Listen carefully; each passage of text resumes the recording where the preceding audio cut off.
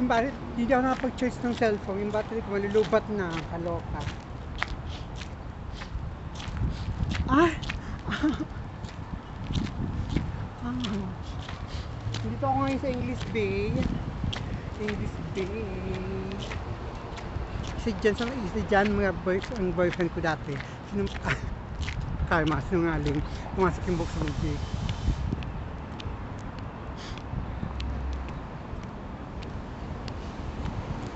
Pieterboek nodig en het nodig.